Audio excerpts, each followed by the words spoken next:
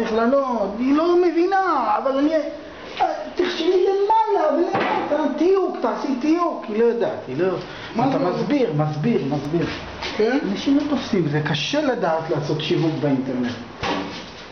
אולי היא לא מבינה. לא, זה מקצוע... אז ככה אה, הוא ילמד אותך. לא, לבד, חיים לבד כמעט.